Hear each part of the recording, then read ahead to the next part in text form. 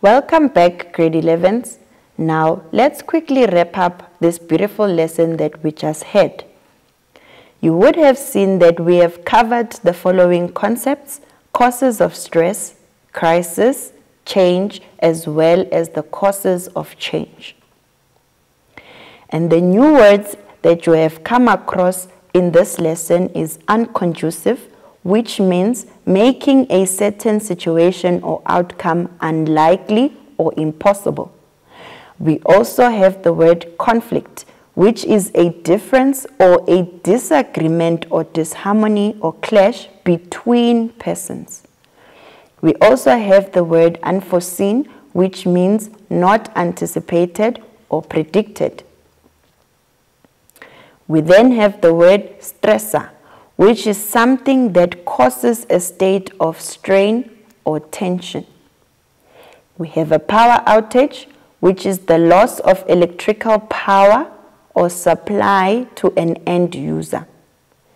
And then we have the word experts, who are people that are very knowledgeable and skillful in a specific area.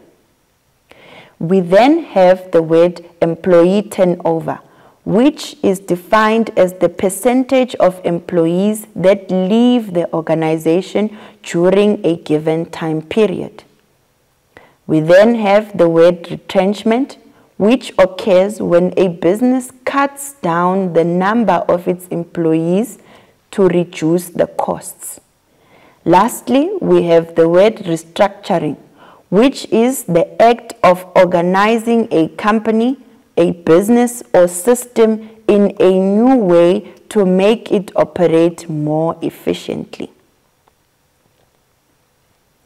Let's then look at our common errors recap.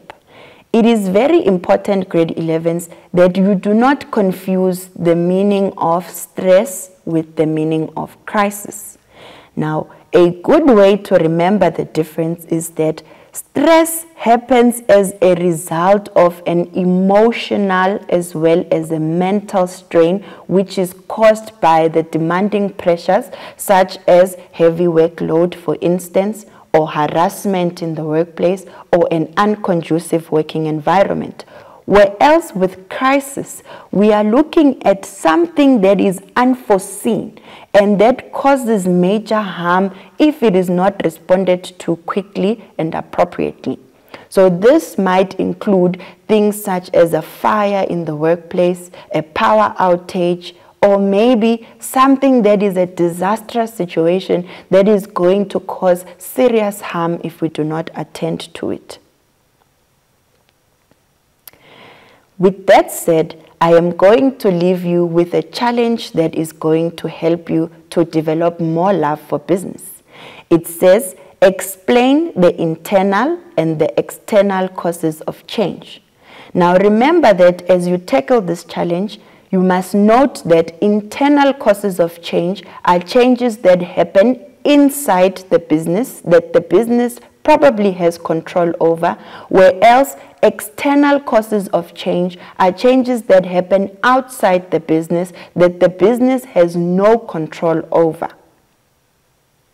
With that said, grade 11s, this wraps up our beautiful lesson.